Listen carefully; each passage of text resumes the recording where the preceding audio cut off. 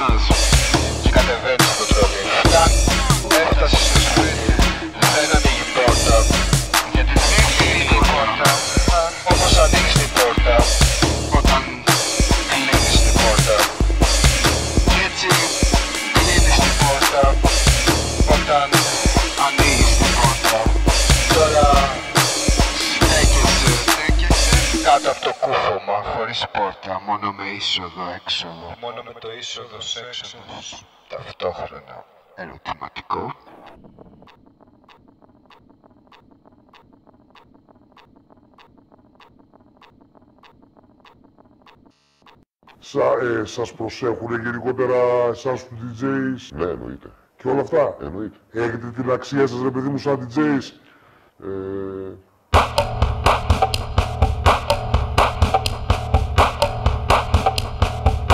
Tinha problemas aqui, uma vai Greg Music, Greg Music, Greg Music, Greg Music. É? Léo Mendes, Léo Mendes.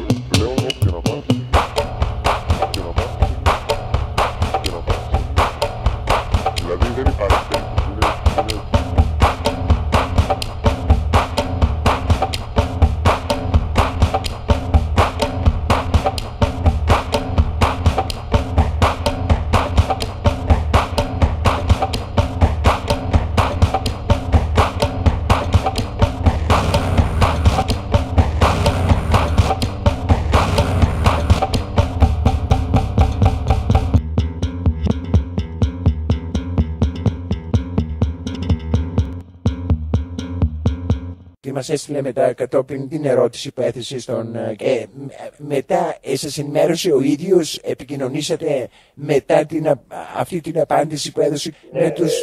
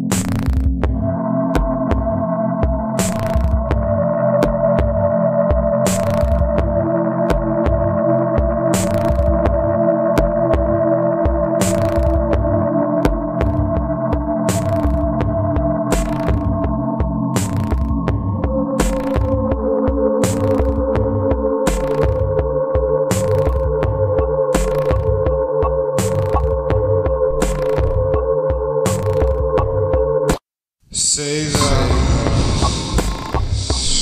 στον ύπνο μου. Ε, ήταν καλά. Ναι. Φορούσε αυτό που συνηθίζω να φοράω όταν πιάνει λίγο κρύο, λίγο ζέστη, όταν πιάνει λίγο κάτι, κάτι, όταν πιάνει λίγο τίποτα ή λίγο απ' όλα. Σε είδα, ναι, και ήταν καλά, καλύτερα. Θα πω ιδανικά, ιδανικά που βρεθήκαμε έτσι. Έτσι, ναι, έτσι χωρίς να φοράω αυτό, το αυτό. Αλλά γάμισε τα, ναι. Το φορούσες εσύ. Οπότε πάλι, μετά από λίγο, έγινε πάλι. Ναι. Έγινε μαλακία. Ε, Πόσο έχει πυροδοτικά, ε, τριριστά και ένα. δεν σου ανέβηκε; Όχι. Βγάλε τα σπορτ έξω. Μην τα- Εντάξει ρε, μα να φύγει με τα σπορτ έξω όλη την ώρα. Φύγε σε παρακαλώ, έχω δουλειά, άσε με. Μα κάτσε να τα Ρε παιδί μου, μπορεί να καταλάβεις ένα λεπτό. Φύγε σε μέρα, άντε τώρα. Κλείς την πόρτα. Πω, πω, πω. Α, α, α. Έχεις κανονίσει τότε. Τώρα Λοιπόν, έχω κανονίσει